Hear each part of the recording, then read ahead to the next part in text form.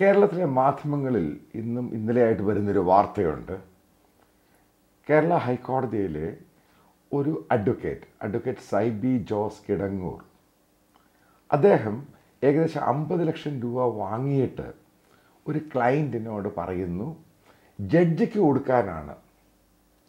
അതേപോലെ തന്നെ റാന്നിയിലുള്ള ഒരു ഇഷ്യൂ വന്നു കഴിഞ്ഞപ്പോൾ എസ് സി എസ് ടി ആക്റ്റിൽ മറ്റൊരു ക്ലയന്റിനോട് അതായത് അക്യൂസിനോട് പണം വാങ്ങി അതിന് സ്റ്റേ മേടിച്ചു കൊടുത്തു. അതായത് സൈബി ജോസഫ് ഈ കാര്യം ചെയ്യുന്നയാളാണ് അയാൾക്ക് റിസൾട്ടും കിട്ടിയിട്ടുണ്ട്. യാഥാർത്ഥ്യമാണ് സത്യമാണ്. ഇത് പുറത്തറിഞ്ഞു കഴിഞ്ഞപ്പോൾ കേരള ഹൈക്കോടതിയിലെ ജഡ്ജിമാർ ഒരുമിച്ചിരിക്കുകയും അവരിതിനെപ്പറ്റി ഫാക്ട് ഫൈൻഡിങ് പാനൽ ഉണ്ടാക്കുകയും ഇതിൽ തെറ്റുകാരൻ ജെ ബി സൈബി ജോ ജോസ് ആണ് എന്നും പറഞ്ഞ് കേരള പോലീസിനോട് പറയുന്നത് ഇൻവെസ്റ്റിഗേറ്റ് ചെയ്യാൻ. അവരുടെ കേസ് രജിസ്റ്റർ ചെയ്തു. ഇത് ആദ്യത്തെ കാര്യമൊന്നുമല്ല. എനിക്ക് വ്യക്തവും കൃത്യവുമായിട്ട് പറയാവുന്ന പല കാര്യങ്ങളും ഉണ്ട്. അതാണ് ഈ വീഡിയോയിൽ പറയുന്നത്. ചില വക്കീലന്മാരുടെ ഓഫീസ് തുറന്നു വെച്ചിരിക്കുന്ന ജഡ്ജിമാരുടെ ഓഫീസ് എന്ന രീതിയിലാണ്. കാരണം അവിടെ കേസ് വന്നു കഴിഞ്ഞാൽ ജഡ്ജിനെ ഫിക്സ് ചെയ്യുന്നു. അതായത് ജഡ്ജ് ഹൈക്കോടതി ജഡ്ജിനെ ഫിക്സ് ചെയ്ത് പണം വാങ്ങി കാര്യങ്ങൾ നടത്തി കൊടുക്കുന്നു. ഇതിനെതിരെയും കൂടി ഒരു അന്വേഷണം നടത്താൻ ജഡ്ജിമാരെ. ഓപ്പണായിട്ട് കടയെല്ലാം തുറന്ന് ഓപ്പണായിട്ട് വെച്ചുകൊണ്ടിരിക്കുകയാണ്. അതായത് ഇന്ത്യയുടെ ജനാധിപത്യത്തിൽ കേരളത്തിന്റെ ഹൈക്കോർട്ട് വലിയൊരു ചോദ്യ ചിഹ്നമായിട്ട് മാറിയിരിക്കുന്നു. വളരെ വ്യക്തമായ കാര്യമാണ്. ഇതിന്റെ ആദ്യകാലത്തെ തുടക്ക തുടക്കത്തിലോട്ടങ്ങ് പോകാം. മലയാളിയായിരുന്ന കെ ജി ബാലകൃഷ്ണൻ. അദ്ദേഹം ഡൽഹിയിൽ ഇന്ത്യയുടെ ചീഫ് ജസ്റ്റിസ് ആയിരുന്ന സമയത്ത് എറണാകുളത്തും ഈ ആലുവ പരിസര പ്ര- പ്രദേശത്തെല്ലാം എനിക്കറിയാവുന്ന പല സുഹൃത്തുക്കളും പറഞ്ഞൊരു കാര്യമുണ്ട്. അവരുടെ ബന്ധുക്കളും അദ്ദേഹത്തിന്റെ അനിയനും അദ്ദേഹത്തിന്റെ മകനും ഭാര്യയുടെ അദ്ദേഹത്തിന്റെ മക മകളുടെ ഭർത്താവും ഓപ്പണായിട്ടാണ്. അവരെ കാണാൻ ഡൽഹിയിൽ നിന്നും മുംബൈയിൽ നിന്നും ചെന്നൈയിൽ നിന്നും ഹൈദരാബാദിൽ നിന്നും ആളുകൾ വന്ന് കൊച്ചിയിൽ താമസിച്ചിട്ടുണ്ട്. പല ആൾക്കാരെയും ഞാൻ പരിചയപ്പെട്ടിട്ടുണ്ട്. ഇവരെ കണ്ട് പല ലാൻഡ് ഡീൽസാണ്. കാരണം റിയൽ എസ്റ്റേറ്റ് ആൾക്കാരാണ്. ഈ കാര്യം സെറ്റിൽ ചെയ്യാൻ അല്ലെങ്കിൽ കോർപ്പറേറ്റിന്റെ സംഭവമാണ്. എത്രയോ പേരെ എനിക്കറിയാം. ഇതൊക്കെ നടന്നോ ഇല്ലയോ എന്ന് എനിക്കറിയത്തില്ല. എത്ര പേരവിടെ ഒന്ന് താമസിച്ച്? അതിന്റെ ഡീറ്റെയിൽസ് എടുത്ത് നോക്കുക. ഇനി അതുമല്ല കെ ജി ബാലകൃഷ്ണനെ കൊണ്ട് മറ്റുള്ള ഹൈക്കോടതിയിൽ വിളിച്ച് പറയിപ്പിച്ച് അവരുടെയും കേസ് അവർക്ക് അനുകൂലമാക്കി മാറ്റും. അങ്ങനെ ഒരു കൂട്ടർ വന്നിരുന്നു. ചില വക്കീലന്മാർ മലയാളികളെ വക്കീലന്മാർ ഡൽഹിയിൽ അതിനുവേണ്ടി പ്രവർത്തിച്ച ബ്രോക്കേഴ്സ് ഉണ്ട്. അവരെ എനിക്കറിയാം. അപ്പം ഏത് രീതിയിലോട്ടാണ് ഈ സിസ്റ്റം പോകുന്നത്? ആലോചിച്ചിട്ടുണ്ടോ? അത് അതിനെ വളരെ സോഫ്റ്റ് സോഫ്റ്റായിട്ട് കാണുകയൊന്നും വേണ്ട. ഈ ജഡ്ജിമാർ ഇതിനകത്ത് ഉത്തരവാദികളാണ്. അല്ലെങ്കിൽ ഇത്രമാത്രം സോഫ്റ്റായിട്ട് ഈ സംഭവം പോവുകയില്ല. അല്ലെങ്കിൽ ഇന്ത്യയുടെ ജുഡീഷ്യറി എന്ന് പറഞ്ഞ സിസ്റ്റത്തെ ഇത്ര മോശമായിട്ട് ചിത്രീകരിക്കാൻ അവരെ കൊണ്ട് കഴി കഴിയത്തുമില്ല. അവർ സോഫ്റ്റാണ് അവർ ആക്സസബിളാണ് അതിന്റെ പേരിലാണ് ഇവരൊക്കെ പണം വാങ്ങുന്നത്. നിങ്ങൾ സ്ട്രിക്റ്റ് ആയിട്ട് നിൽക്കുവാണെങ്കിൽ നിങ്ങൾ അക്സസബിൾ അല്ല എന്ന് കണ്ടാൽ ഇവരാരും പോയി പണം വാങ്ങത്തില്ല. നൂറ് ശതമാനം. കാരണം ഈ സുപ്രീം കോർട്ടിന്റെ ഫംഗ്ഷനുമായിട്ട് ബന്ധപ്പെട്ട അവിടുത്തെ വിജിലൻസും അവിടുത്തെ ഇന്റലിജൻസ് ആൾക്കാരുടെ എനിക്ക് ബന്ധമുണ്ട്. അപ്പോൾ അവർ പറയുന്ന സംഭവമുണ്ട് ആൾക്കാരെ എവിടെയൊക്കെ നമ്മൾ മോണിറ്റർ ചെയ്യുന്നത്. ചില കാര്യങ്ങളിലൊന്നും അഡ്ജസ്റ്റ് ചെയ്യാൻ സമ്മതിക്കത്തില്ല. അത് ഉടൻ തന്നെ അവർ റിപ്പോർട്ട് ചെയ്യും. അതായത് കേരളത്തിൽ ഇതിനെ മോണിറ്റർ ചെയ്യുന്ന ഒരു ബോഡി കംപ്ലീറ്റ് ആയിട്ട് പരാജയപ്പെട്ടു. മറ്റൊരു കാര്യം കൂടെ പറയാം. കേരളത്തിലെ പ്രശസ്തനായ ഒരു മിഡിൽ മാൻ ആയിരുന്നു ബ്രോക്കർ നന്ദകുമാർ.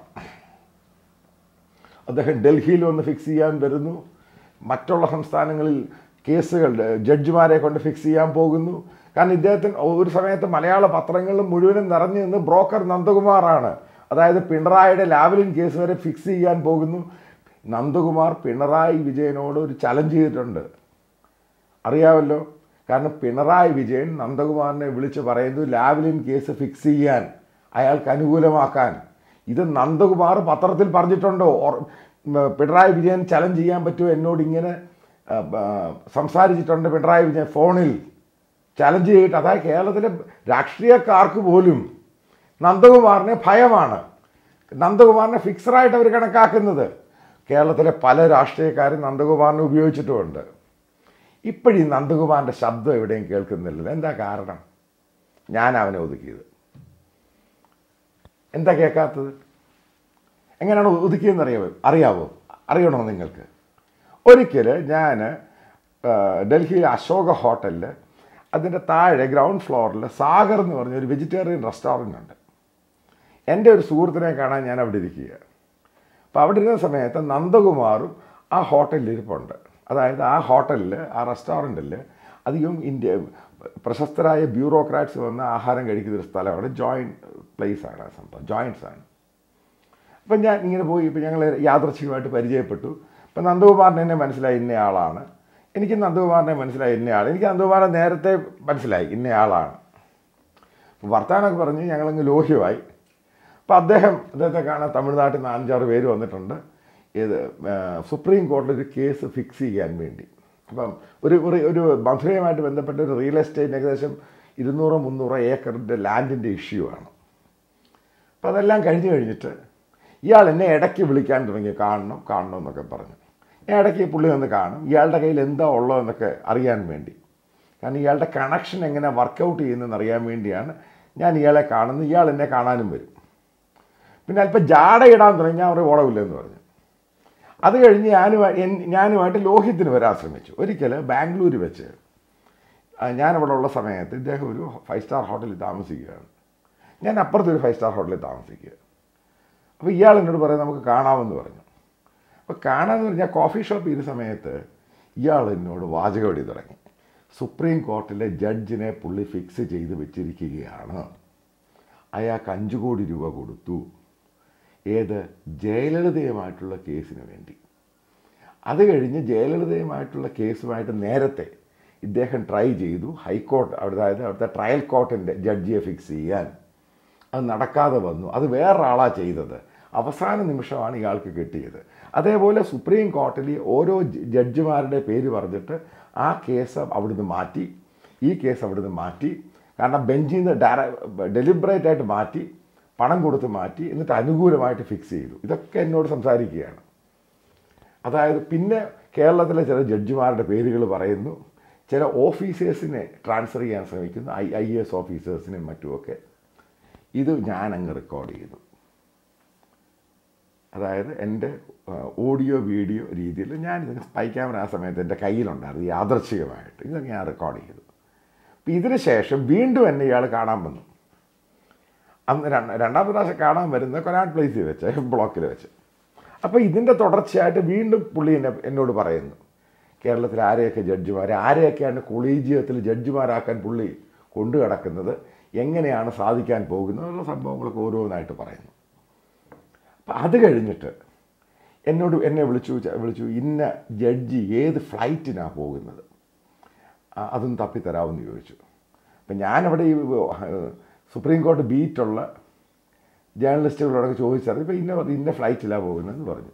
ആ ഫ്ലൈറ്റിന്റെ ഫസ്റ്റ് ക്ലാസ് ടിക്കറ്റ് എടുത്ത് ഈ എയർലൈൻസുമായിട്ട് ബന്ധപ്പെട്ട് അവരുമായിട്ട് ലോഹ്യം അയാൾ ഫസ്റ്റ് ക്ലാസ് ടിക്കറ്റ് എടുത്ത് ജഡ്ജിന്റെ അടുത്തിരിക്കുക.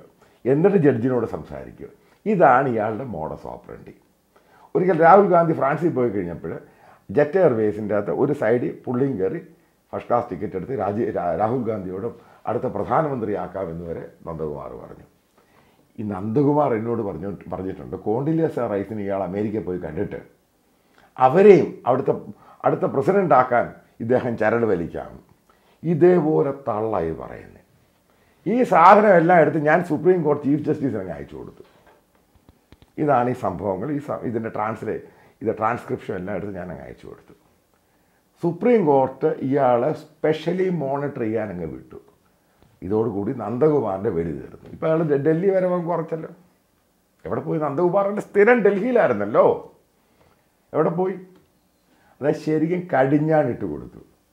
കാരണം ബേസിക്കലി മനസ്സിലാക്കേണ്ടത് ഇങ്ങനെയുള്ള ഒരു ഒരു ശബ്ദങ്ങൾ അതായത് ഇങ്ങനെയുള്ള ആളുകൾ അത് സൈബിയെ പോലും നന്ദകുമാറിനെ പോലും ജസ്റ്റിസ് ബാലകൃഷ്ണന്റെ ബന്ധുക്കളെ പോലും അതുപോലെ പലരുമുണ്ട്.